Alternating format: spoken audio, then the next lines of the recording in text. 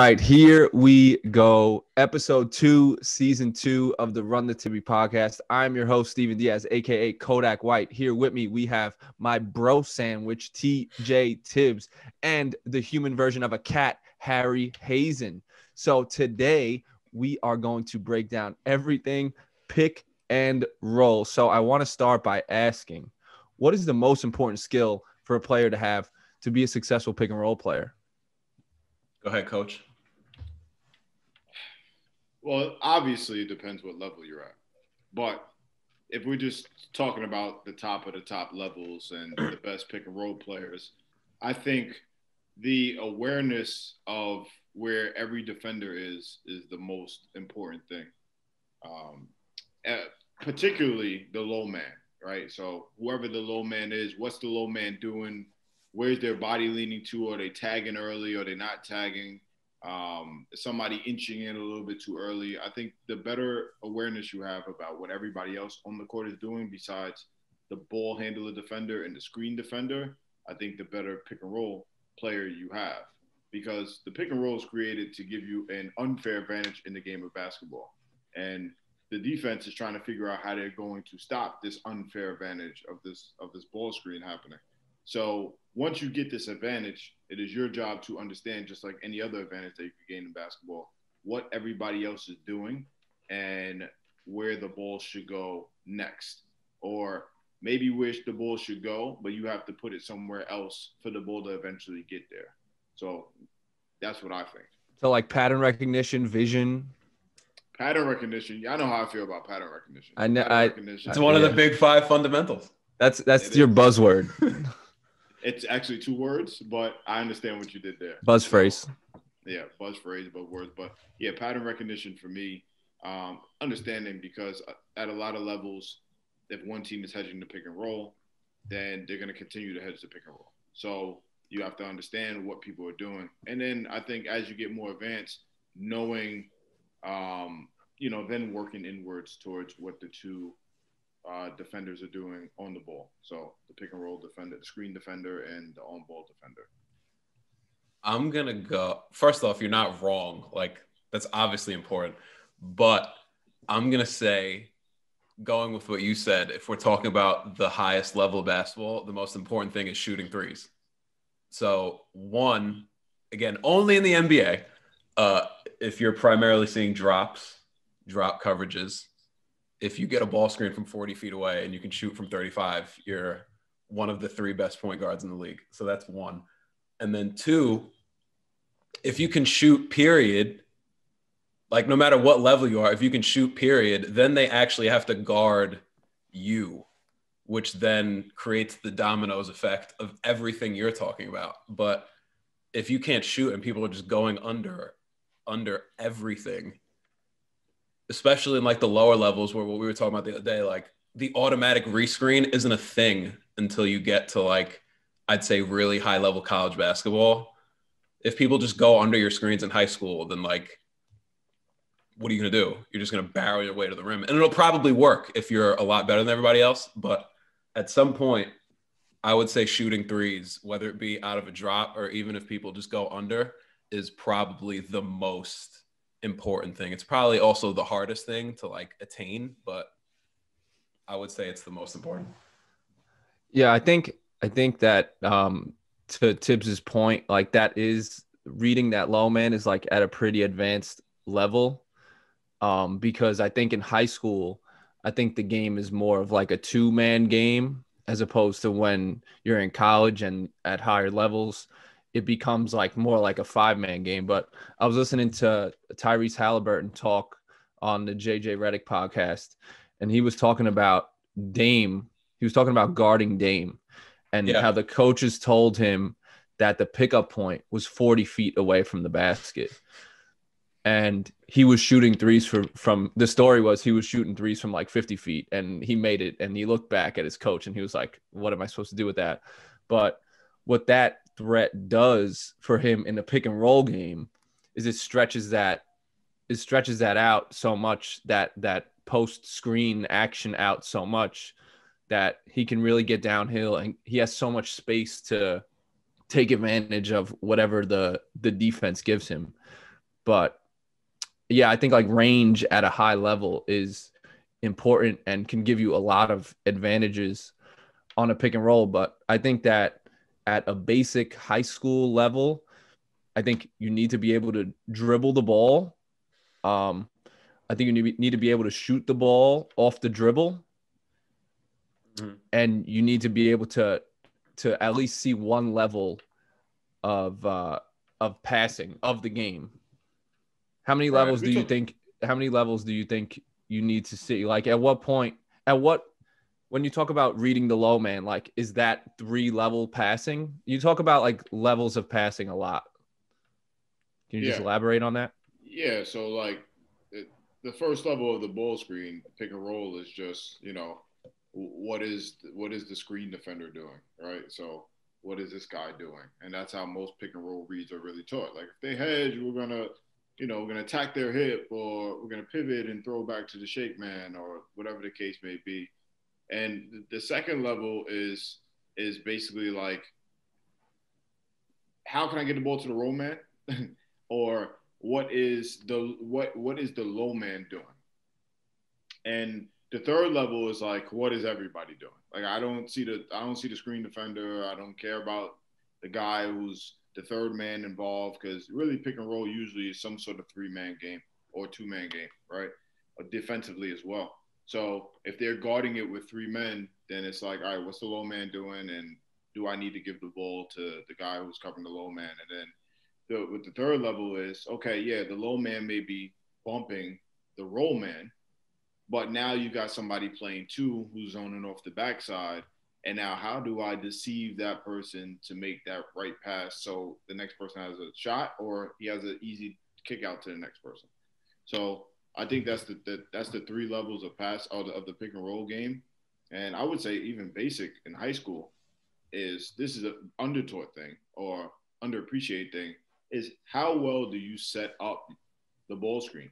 Like, are mm-hmm. you it's the ball handler's responsibility, especially in the younger ages, to run your man into that screen. So how well you actually setting it up and and and how are you getting your advantage, you know? So how are you able to first get your advantage and then kind of maintain your advantage? Because a lot of times in defenses in high school, what are you seeing? You're seeing switch, you're seeing hedge, hedge, or you're seeing confusion. Double. I don't know. You might see some double. You might see double. If, yeah, if you're the guy, double. you're probably gonna get double. Yeah, yeah. But you a lot of times like you'll watch high school games and I think teams have plans, especially against the guy who's gonna use the pick and roll the most. Like teams have a plan what they want to do. But a lot of times there's confusion based on personnel or based on when subs come in because it's in a regular high school game. You know, we're not talking about high level high school.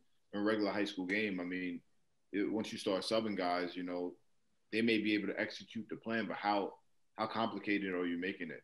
You know, and mm-hmm. the game and the pick and roll is all about where can I find more space to operate? Like how can I find that? You know, whether it's shooters that shoot from deeper. You know, Houston Rockets used to put down a four point line, and now you see it almost in every NBA practice facility, the four point mm-hmm. line. Like you're literally not going to get four points, but it's just that extra spacing. Um, so how am I going to get that extra space? And then defensively, where am I going to condense the space? Like, where can I, whether it's helping off a shooter or not picking up as high? Um, I think all those things come into play. Can I just say something about setting up ball screens? Um, me and Diaz were watching film with somebody, and uh, I think I don't know if I'm jumping the gun on overtaught, undertaught, because you said something to that effect. Um, I think the whole like getting lower than free throw line extended is like a really overtaught thing. Like, first off, I've seen a workout where someone had their kids like back down dribbling almost to the corner just to come off the ball screen. And it's just so, it's so unrealistic and it puts you in such a bad spot that I think there's so much more dynamic reads. Like, you can't just say, I'm getting free throw line extended and coming off a ball screen and you're going to do that for 32 minutes. You know what I mean? So I think that's where and I'm sure we'll talk about like how you work on stuff. I think that's where like live play would come into effect in like your practices because you can't you can't just expect that to work every single time. You know what I mean? You can't. And I think that's like really overtaught. Yeah, I think that's just basketball in general too. Like I think we get hung up on like spots on the floor. um, Yeah. which is a good landmark. But when it comes to like shooting and stuff, you almost you need to be able to shoot from yeah that general area, but there's only a few exact areas where you're probably gonna get shots from, and it depends on your game. Like the elbow, like if you're a scorer, getting to the elbow, that's like a landmark. That's like your spot, right? One of your, your hot spots. The corner, anybody that spots up in the corner, um, the, cor- the not changing. You know, uh, you're if you're rotate relocating to the corner or you're just standing in the corner and occupying the corner, the corner is not going to change.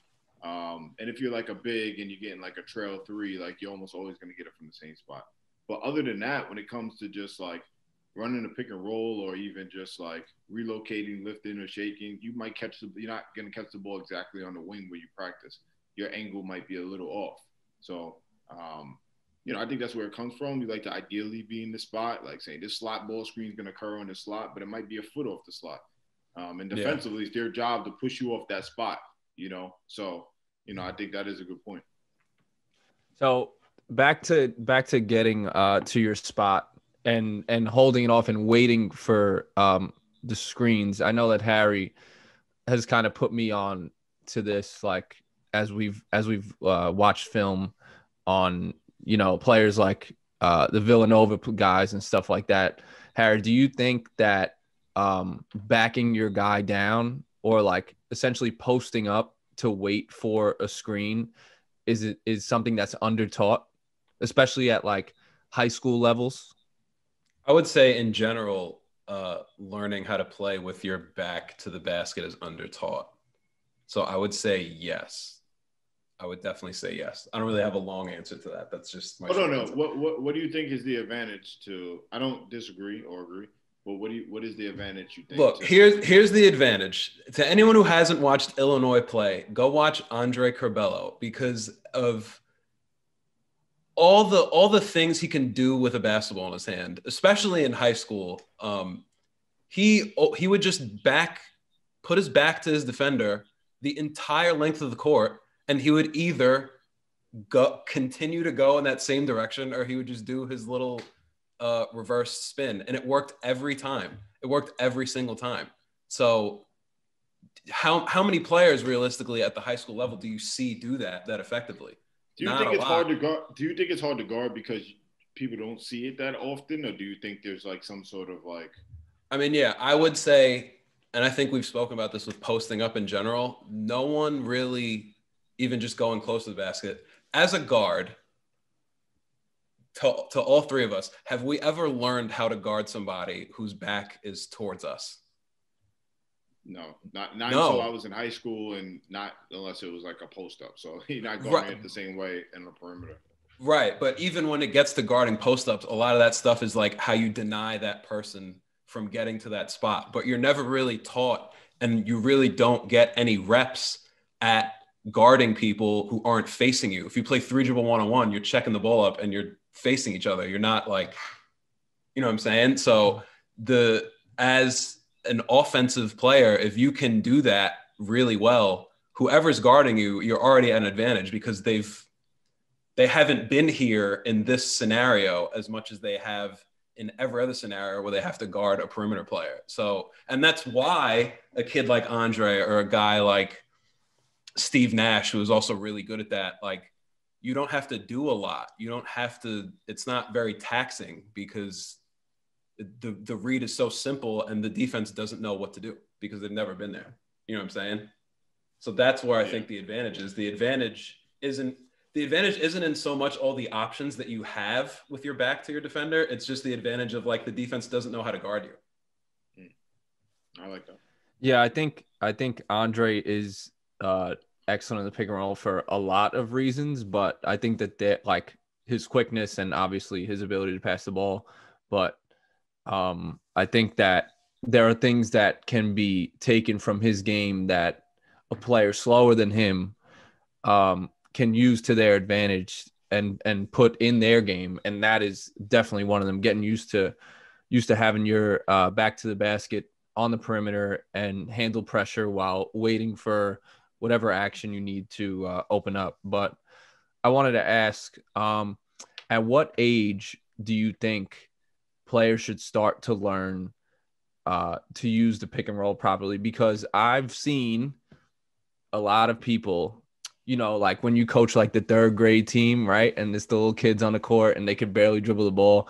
And the coach tells them, go like this. And somebody will come set a screen for you and go like that. And then the the the big kid that just wants to play football his whole life just like decks the decks the kid guarding the kid with the ball. And it's and and then it's mayhem after that. So like what age like is eighth grade a good general age for uh, players to learn how to use a pick and roll? So this is gonna sound really crazy, but I think Uh-oh. they should start learning in third grade. Wow. Um, how to how to use the pick and roll, and here's why: it's so prominent in today's game.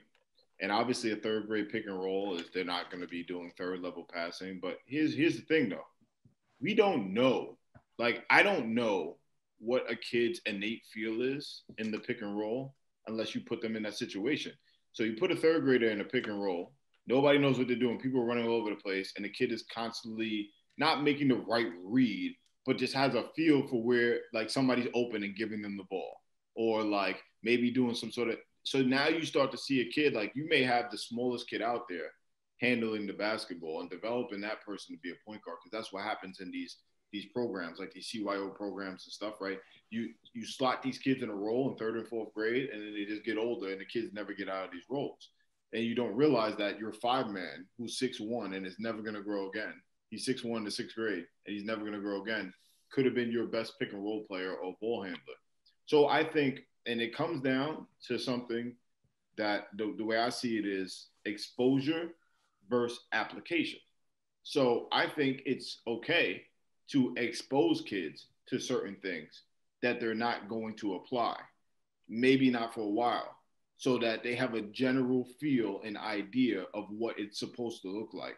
Because you may teach a fifth grader, sixth grader, seventh grader, eighth grader pick and roll. You might guys might be great, knows all the reads, and then you get in the game and they're playing zone, right?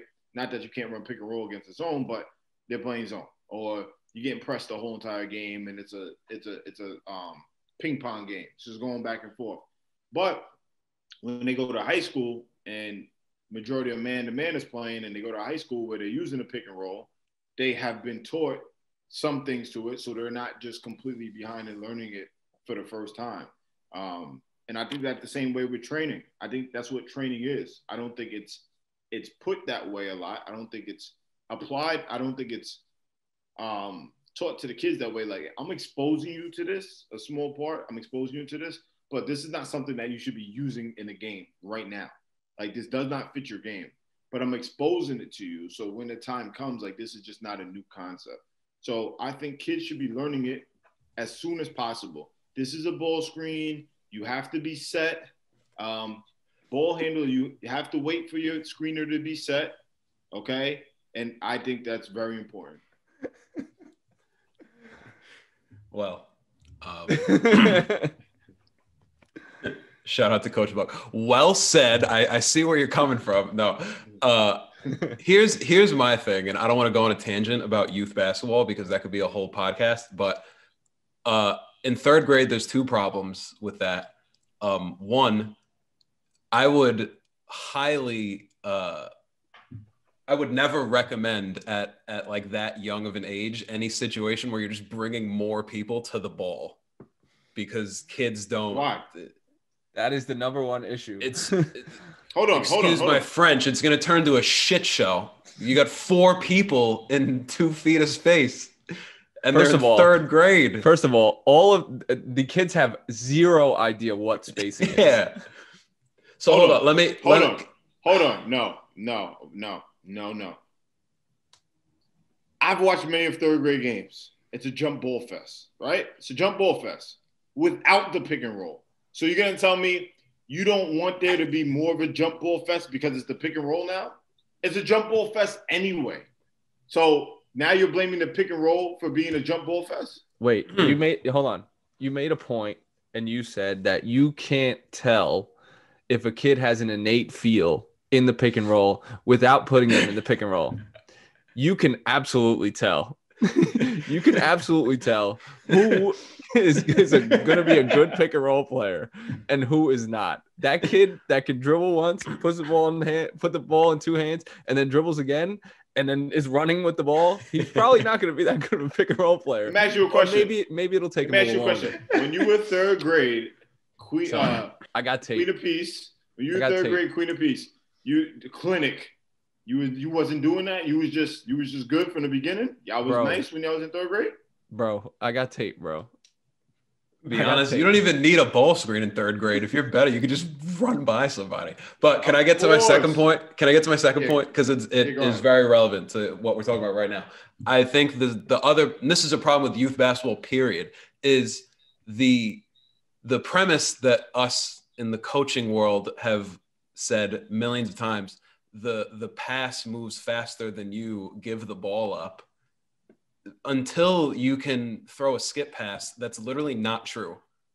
So if i to to answer your original question i would say you should start learning pick and roll stuff when everyone on the court is strong enough to throw a skip pass because then there's there's really nothing that could that could happen. I, I think when kids are strong enough to shoot a three, that's when they could learn pick and roll passing. You should not, I don't want to see none of this if you can't reach the rim. I don't want to see it. and it's it's funny because I uh, this past summer I was working out uh, a girls AAU team, and they, a lot of them were like super young, incoming freshmen and sophomores at a lot of public schools, and we were going like their coach was like, "Yo, I want you to go over pick and roll stuff with them." And all I did was like a small sided three person game where you had a strong side corner and then a ball screen. And I said, yo, if this person, if the low person helps, throw a skip pass to the corner. And a lot of them were just like, yo, I can't really throw that. You know, and and every possession was just like a dead possession because they can't throw the ball to the open person. If you cannot throw, and this that's no slight to those girls because they figured it out after Uh, a few you're, workouts. you're a bad trainer for that. That's fine. But bad trainer before that. I mean, listen, Andre already said I suck. So listen, we're here. Um, again, that's no slight to those girls, but if you can't throw, if everyone on the court isn't capable of operating in that level of spacing, to what you said before, what's the point of a ball screen? Because I just think that, and let's go back to the third grade thing, because they can't make any pass. And I just think that what would be a win for me if I was running a program, and this is like a dream of mine, honestly, to like oversee a CYO program, third grade to eighth grade. I like really, really want to do that. Because if I watch the practice and I say, all right, guys, we're learning man to man, my expectation with pick and roll is can the ball handler wait for the guy who's setting the screen to be set? And then can the ball handler successfully dribble his man into the screen? Anything after that is is honestly a super bonus. I think there's something to be said about that because there are people in the 12th grade that cannot do that, cannot wait, and cannot, they don't have that feel. And you guys know how I feel about it for the last month now. I never thought feel could be taught. I probably said this on this podcast, and now I am a super believer that feel can be taught to an extent. I'm a super believer of it now. I've completely changed in the past month or so. And I think that's a part of it because you put a kid in a situation that maybe he leaves your team in the third grade and goes somewhere else and never works on the pick and roll again because he's the shooter, right? And he doesn't get any pick and rolls. Then he gets into high school and the, the dumb third grade stuff, and he knows at the very least, I have to wait for this guy to be set. Because that's a huge thing. I, if if it infuriates me, it, it, it frustrates me to to no end when my guys pick up a moving screen. Because I really think a lot of people say, oh, that's the ball handler's fault. No, man, it's really both of their fault. It's both of their faults. And, and it's so infuriating and frustrating when that happens. And I think a lot of it, not that it would stop happening, but I think that's something you could teach in third grade. And I'm not saying use a lot of time of it, but I think it's something that should definitely be introduced and you should be exposed to. Like I really, really believe that. I don't have an expectation for these kids to come off and be making no look passes across the court. I just want to see them use the literally use the screen. And then what if you get a third grader? Because I work with a fourth grader this summer, and I'm gonna tell you this much: the kid has the skill to diffuse pick and rolls. I don't know if he understands what that means, hmm. I've seen him do it on accident. But now, if you tell the kid to how to do that on purpose, first of all, he's chopping up every single fourth grader. they see a screen coming, they're literally only thinking about that, and you're just rejecting it every single time. He's literally scoring 1 million points a game. And that concept holds true almost all the way up to the professional level. Rejecting pick and rolls is such an undertaught thing. And it's something that you can innately develop from a young age. So why not? So they're doing it and they, they understand they might not understand why they're doing it, but they say, Oh, you know what? I'm gonna I'm just gonna do it. And they get into a habit of doing it. Because I didn't Tibbs' know Tibbs' CYO program is going to be icing screen rolls in the third grade. We are. We're going to be icing in the third grade. We're going to be icing side ball screens, and then we're getting ice cream after the game. if we guys, if we successfully ice five ball screens, we get ice pops after the game. no, I'm dead serious. I'm just dead serious. I think I really, I really believe in that. And it might be very frustrating and stuff, but coaching at young age is you're gonna be full of frustration anyway.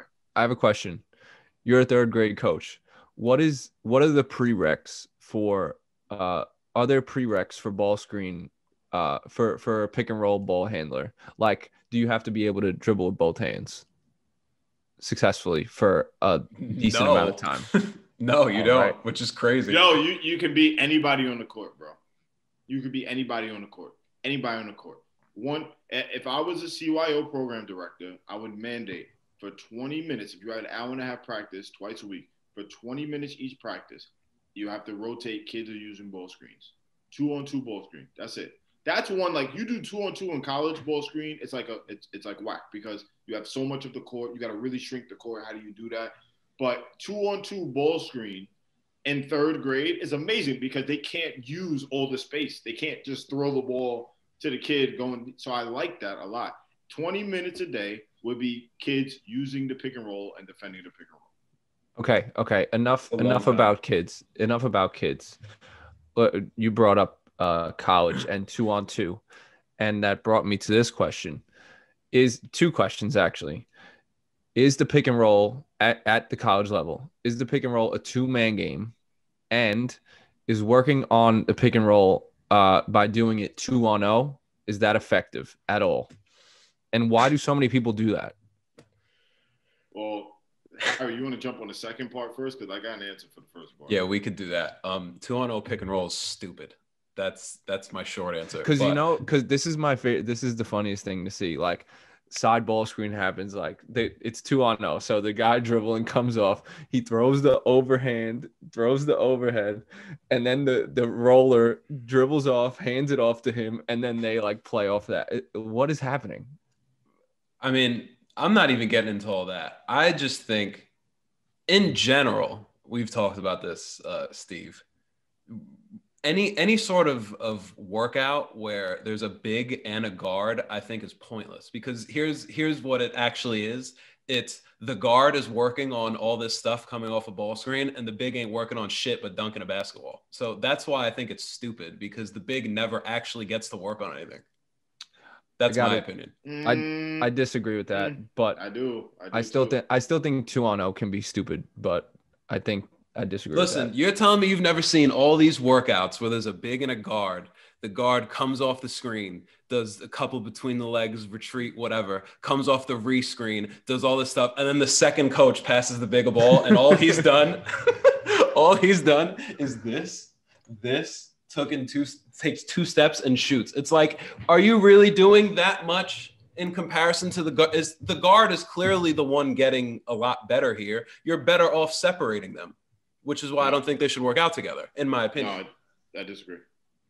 I understand. However, what I do understand, which is maybe the standpoint you're coming from, if you're a coach and you want to develop some sort of continuity between your big and your guard, that's fine. But if I had a big and a guard come to me to work out and they don't play together, then yeah. why are you here together? The one yeah. of you is about to either do an all big workout or an all guard workout because we're not no, doing I, that.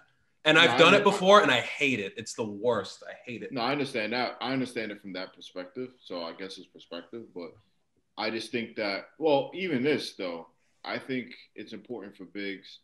There's a lot to learn because short roll is a very prominent thing in today's game. You rarely, especially for guys who aren't lob threats, you rarely see the roll man get hit. Rarely, rarely. Like that, I think that's the mark in today's game of the really, really good pick and roll players because they're manipulating you so much that they're hitting the roll man that's not a lob.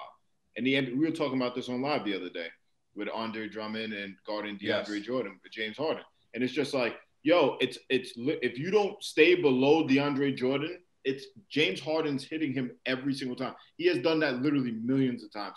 And he's hitting him, and you're not jumping flat footed higher than DeAndre Jordan is, and he's dunking it on you every single time. It's literally unguardable. That's where drop coverage originated from, I think, more than the guys shooting from 40 feet.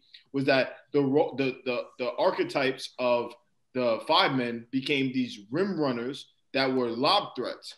And now when DeAndre Jordan's literally getting paid off of defending, I don't even know if he's this excellent defender or ever was. I mean, I could be wrong, but off of literally being a lob threat. The potential making, to Brandon Knight somebody again. that's why it's just that's why it, it, now you have all these guys, the Jarrett Allens, the you you have all these guys that because you are never throwing them the ball in the post, and but they can jump 12 feet in the air and dunk the basketball. So that is a huge plus. Um, so nah, so I just think that bigs who short roll and have to play the second side have their footwork has to be really, really, it's really important. So you don't know when you're getting the ball and you get the ball for bounce pass or you get off a hook and you got to come on two feet and whatever the case may be. So I think those things dependent on the program. But yeah, in the individual workout, I wouldn't put two kids who never met each other or barely worked with each other together to do that. I, I agree with that. And to get to, to your first point before I forget, um, what you say? Was it about uh, three on uh, Oh, is it a two man game in college? I'm gonna say this: the best teams in college aspire to have it as a two man game whenever you can. If it's a two man game, and I'm I'm really speaking about defensively, the less people you can involve guarding the pick and roll, the better. So if you can guard it two on two, it's a huge plus. But almost always defensively, it's going to be at least three men, almost always, especially in college because of the rules and you can overhelp and because just like NBA trends don't really get to college until years, years, years, years, years later. You know what I mean? So they've been icing. Ice was really the Celtics, the Bulls with Thibodeau. Like they were really icing, and then it became prominent in the NBA. And it still hasn't really, really hit college. There are people who ice. You know what I mean? Um, but it's not everywhere. It's very rare when you see a team icing. You're not. That's not somebody. That's not like the standard of guarding pick and rolls on the side or even in the middle of the floor. So I would say trying to guard a pick and roll two and two, whether it's deciphering the personnel, uh, the the the screener or the guy using the ball screen, or it's the fact that how scheming, how you're scheming the pick and roll to, to guard it. And that's another reason why drop coverage is so prominent because all the shooting in the NBA and it helps people guard. But you're almost always guarding it with three people.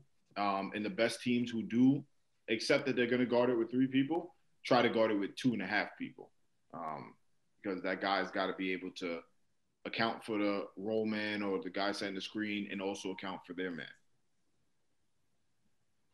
Do you, do um, you have an answer? Or... No, I don't. But I wanted to ask a question that uh, you feel uh, passionate about. Um, do you think that snaking ball screens should be taught? Period. Um, I'm a little less passionate about this than the other read, but I'm sure we'll get there at some point. Um, I just think there's a lot of there's a lot of things that that you see in workouts, and we've done it. Like because you see it all the time. And we talked about in the last podcast, like, of course, I want to watch NBA basketball more than any other brand of basketball. So I get that's where trainers will get a lot of stuff that they build their workouts off of. But you're literally never going to see the coverage to snake a screen ever. You're just not going to. The, I'm, I'm going to go out on a limb and say 90% of high school coaches across the United States of America do not know what a drop is. I'm just going to say that. And I might be right, I might be wrong. But whether they know it or not, they're not doing it. so you're yeah, never going to get about this... a talk about a defensive coverage that has not uh, has not reached different levels other than the NBA. yeah, because like I just I don't understand the point. I'm all, I'm obviously talking about anything pre-college. Sure, if you're in college, and I think at that point it's a it's a scheming thing. You know what I mean? Because guys are so skilled that they could probably fit like, oh, you're playing against TJ Tibbs in Staten Island. They're icing. I should probably teach my guards how to screen or how to snake for a week. And maybe they'll be able to get a couple good reads out of that in the game. And when we practice against the scout team and things like that. But if, if you're in high school, no, it's not, it's not going to happen. So you're wasting, you're wasting your reps in terms of what's Can I going ask you into this? a workout. This is kind of this is kind of off topic, but if if you're if you're let's just say like high school, let's just say they hardly if ever see ice, right? And now you're going against a team that you know is going to play ice, and you have two days to prepare. And I've actually had this conversation with a high school coach. Like, what do you guys do against ice? I said, well, let me preface it by saying that we have to guard ice in practice in our base defense. So it's a little different. Our guys have like it's a it's a little bit more in our guys' package because they have to play against it. When you're just randomly seeing it, you're not going to change the DNA of your players in two days. It's not going to happen. Mhm. So you're better you're better off even if you're going to be in that position where you're going to get iced a lot. you're better off trying to avoid that at all costs in this game, or scheming somehow collectively as a team to defeat the ice. Like, don't think you're gonna go into practice and, like you said, start teaching guys how to snake ball screens if you never even brought it up before, and think that guys are going to do it innately. Because yeah, they may snake the ball screen, but guess what? They're gonna put the ball somewhere where they shouldn't have it, and they're better at you at defending that mm-hmm. weakness. So you go and you snake it every single time, and the kid is just now doesn't know what to do, right? Because the ice is so much better in the game than it is was in practice, and it's just dribbling the ball, and he gets back tapped every single time, or or he gets ripped, or you try to tell people like, oh, you gotta you gotta reject it and hit the pocket pass, hit the guy in the pocket, and now there's two hands there because they're so trained to do that. It's just so much harder. But what what would you do? Like, what would you guys do if you never played against ice ever? Your team is not prepared for it, and now you know you're gonna get ice. What would you do? I'll tell you what what I did whenever we would play Baruch and we never practiced against an ice ever. Uh, I would just throw the ball to the five man and the possession would be dead. So that's Yeah, what every- I that's what I did. So shout out to Baruch for knowing that no one is gonna figure out that they're that they're icing ball screens. Yeah, they're always really good defensively, and I'm sure Yo. that has something to do with it. Well, there's a, from being on the staff and obviously having a lot of respect for John and their program. There's many reasons why Baruch is so Yeah. good defensively. It, like all the time, all the time, all Mhm. the time. One of the best defensive teams in the country, and it's also because they're not afraid to, to try stuff like that. You know, so um, John's a guy who definitely embraces the NBA, and you can see NBA fingerprints over stuff that they do. So you know, shout out to him. That guy's a technician, obviously. yeah, they scout scout. Yeah. they they they big scout. They big, Yeah. I would tell you a story real quick about about turn this this turn this into the Brew podcast. I'm not going to use any names or the team. So we're playing a team. I think this is my first year at, at Baruch, maybe first or second. We're playing a team, and the scouting is obviously it's very very detailed, right? And our kids are very very smart, and the kids who are smarter than the smart kids are just elite, right? Like a Bryla Page. Shout out to Bryla, big friend of the pod, right? So hmm. we're playing a team. It's like the second game of the season, and a freshman checks into the game for the team. The coach calls out a play, and this is one of the games where a coach called out a play like every single time, and our kids knew exactly what it was. Coach, kid is confused. So one of our kids is guarding the kid. Kid is super confused. One of our kids is running to the spot like mindlessly before the kid even thinks about getting there. And spot is like across the court. so he knows kid got to get to the spot. Kid has no idea he's open. and his teammate team doesn't know it's open. Team's telling the kid to get to the spot. Our kid is already there. Our kid is already there to get to the spot because he knows exactly what's going on. So yeah, that's a that's a that's a big that's a big scout scout. You think That's that stuff hilarious. is so huge advantage when you're coaching with them, and obviously as a head coach, you take you know try to take as much from John Alisi as you can. But when you play against it, even if, though you know like what's gonna happen with their scouting, it's still like it's uh, you got to find ways to defend against their scouting. you know what I mean? Like that's how good they are at it. Like it's so elite. So It's so rattling playing against that. Like you when you hear when you hear a play called, like for me, right? If it was like elevator, Elevator. or whatever, you hear a play call for me, and they're like elevator, elevator, Diaz, whatever, and it's like, oh come on, man. Like, what am I Well, to do well with this? listen, listen, listen. All due respect, bro. If you're gonna run an elevator for somebody, I don't think you should call the play elevator. Well, no, we didn't call it elevator. We called it like four or something. Yeah. I think we called it four. But uh, we're we are about to go over the limit. But I wanted to end it with this one thing. If there are two players, so two uh two players in a pick and roll tandem that you could suggest uh, to watch tape on in the NBA, who would you suggest? So uh, they have to be a pair. So I'm gonna say Shout out to all the pairs. I'm gonna say Steve Nash and Marcin Gortat. That's my pick and roll Wow. tandem that you should watch tape on. You know the NBA is starting to to to, to uh, ban the Gortat screen. I know right? it's whack. Oh, like the the Screening somebody your guy? Yeah, yeah, yeah. yeah, like screening your guy. It's whack. So- Sucks. Um, who you got, Harry? Or you need to think a little bit.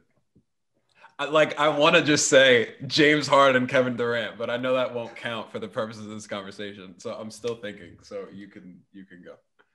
Um, so I'm trying to think of somebody who's re- who's reasonable.